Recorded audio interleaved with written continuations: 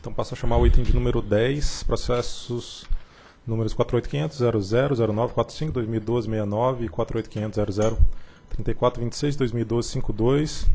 Trata-se também de abertura de audiência pública referente à terceira revisão tarifária periódica da COSERN e também relativo ao estabelecimento dos limites dos indicadores de continuidade de DEC-FEC dos conjuntos da, da, concessionária para o período de 2014 a 2018.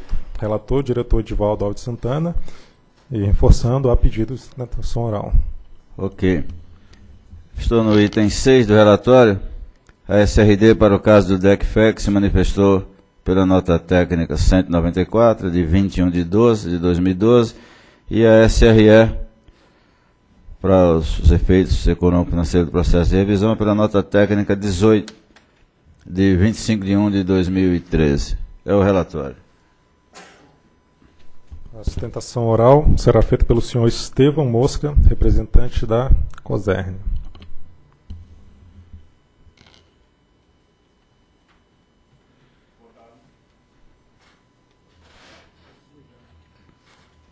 Boa tarde. É, eu vou ser breve aqui, até porque os principais pontos aí são comuns à, à Coelba e já foram abordados aí, tanto pela sustentação que foi feita pelo Fabiano, como também pelas colocações feitas aqui pela própria diretoria. Apenas reforçar a nossa preocupação com a questão da, da, da compra de energia, que é, isso é efetivamente da forma como está é, a situação em que nós estamos é, hoje de exposição, é, é ruim para o consumidor e também para a distribuidora, porque tem afetado o nosso caixa, né? É, então é importante que a gente tenha realmente, daqui para abril, acho que a, a hidrologia está mais definida e se, pode, se poderá ter uma, uma visão melhor de como ficará aí o PLD. É, da mesma forma aí também a questão do, falando ainda sobre o montante de reposição, é, nós também ficamos, ficamos aí com, com, teoricamente, com a sobra de energia, né? Que, considerando que houve uma reposição aí de, de 233 mil é, megawatt-hora, e ficamos com exposição e tivemos também, está valorado a 127 e, e, e, a gente ficaria com a sobra de energia que estaria sendo valorada também aos 168 que já foi falado aqui. É, a outra questão também que é, nos teríamos que, que, conversar, também está um pouco já, já batido e já definido aí, eu acho que bem definido, por sinal, seria com relação à base de, de remuneração, basicamente a questão do REID, mas já foi definido, acho que desnecessário se, se falar. Né? É, e eu diria apenas que os demais pontos que, que, nós, que nós temos aqui são, são pontos, vamos dizer assim, que estão sendo discutidos com as áreas técnicas e, e eu acredito que é, se dará o um encaminhamento adequado no seu devido momento. Muito obrigado. Obrigado, senhor. Ok. No item 10, fator X para COSERN seria 2,12%, proposto, composto por componente PD 0,88%, componente T 1,24%. O efeito médio a ser percebido pelos consumidores, de acordo com a proposta, é de 0,77% para um reposicionamento tarifário negativo, né? que foi também negativo em 0,25%, e a diferença entre o reposicionamento tarifário e a, o, efe, o efeito para os consumidores são os componentes financeiros. O quadro que está no item 14 mostra a repartição disso entre grupo de alta tensão e baixa tensão, positivo para a alta tensão em 4,63%, negativo para o baixa tensão.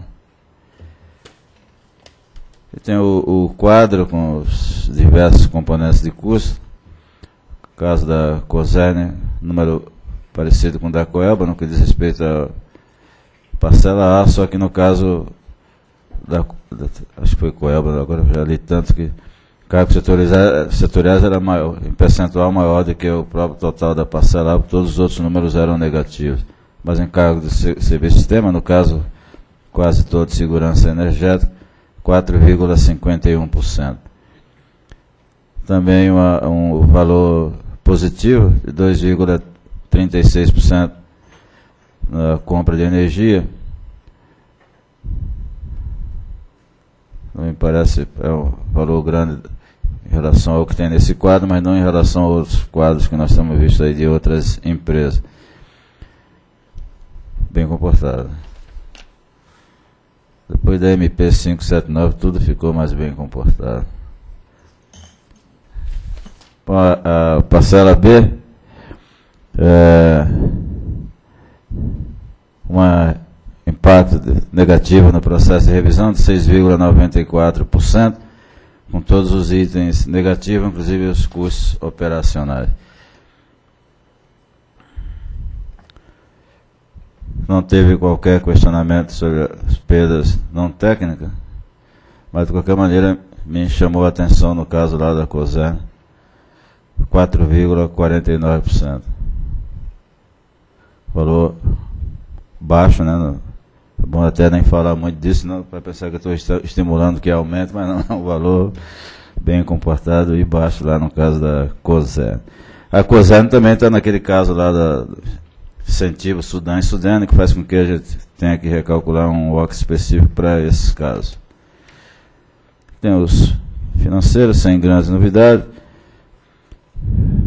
É, quanto ao DECFEC, a empresa também apresentou em sua manifestação algumas considerações. No caso específico, estou no item 45 propõe a elevação do limite de ECFEC de oito conjuntos para o período de 14 a 18, que foi acatado parcialmente pela SRD.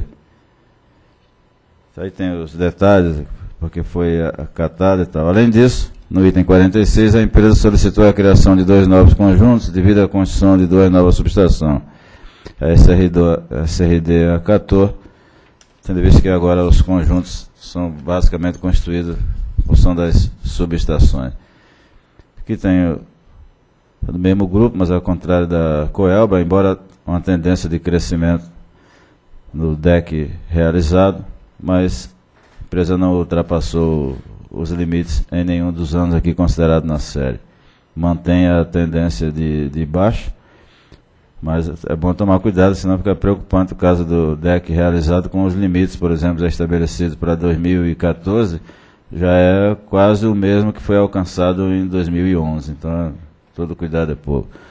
Do exposto, que consta dos processos aí listados, voto pela promoção de audiência pública no período de 5 de fevereiro a 8 de março de 2013, com sessão presencial dia 1 de março, cidade de Natal, pela publicação de seu respectivo aviso, com o objetivo de obter subsídios e informações adicionais para aprimoramento do revisão tarifário da COSERN relativo ao terceiro ciclo, bem como para o estabelecimento dos limites dos indicadores de continuidade e DEC e FEC dos conjuntos da empresa. É o voto.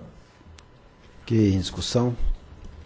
Só uma curiosidade, que no item 30, ela bota aqueles gráficos lá de CCR Energia Nova, cota e tudo, onde vocês enfiaram as cotas dessa empresa, porque aumentou tudo CCR de energia nova e velha?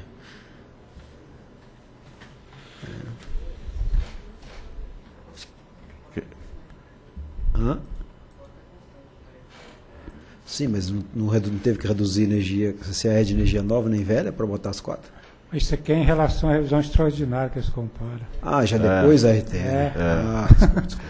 É, a comparação é por isso que fica igual.